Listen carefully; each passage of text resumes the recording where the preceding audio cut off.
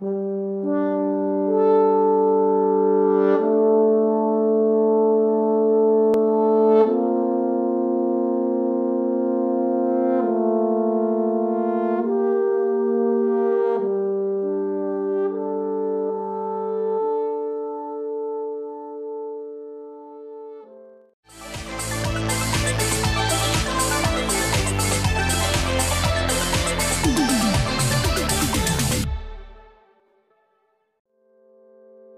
Debit air kali kening di wilayah Desa Brangkal, Kecamatan Parengan, Kabupaten Tuban meluap.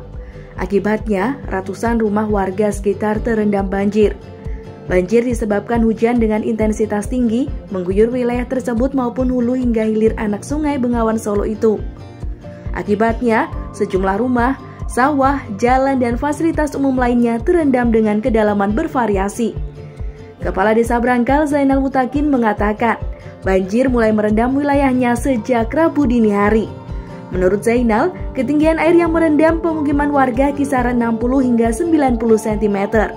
Warga pun mulai mengamankan hewan peliharaan seperti ayam dan bebek, serta barang berharga lainnya harus ke tempat yang aman. Zainal menambahkan hal tersebut sudah sering terjadi apabila curah hujan cukup tinggi. Namun pada kali ini merupakan banjir yang terbesar dari beberapa kali yang pernah terjadi ada sekitar 750 kakak yang terendam.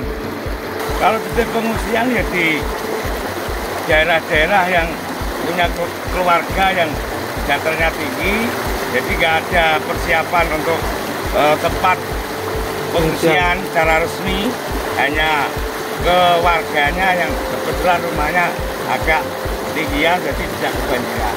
Karena semua sudah diungsikan yaitu di X kereta api jalan bekas kereta api bukan tinggi jadi uh, untuk hewan baik kambing maupun sapi itu di sana.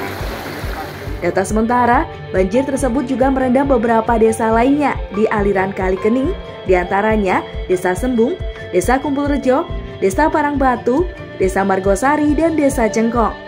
Banjir tersebut selain disebabkan hujan lokal juga merupakan kiriman air dari hulu kali kening, yaitu Kabupaten Rembang, Kecamatan Jatirogo, Kenduruan, Bangilan, Singgahan, dan Senori.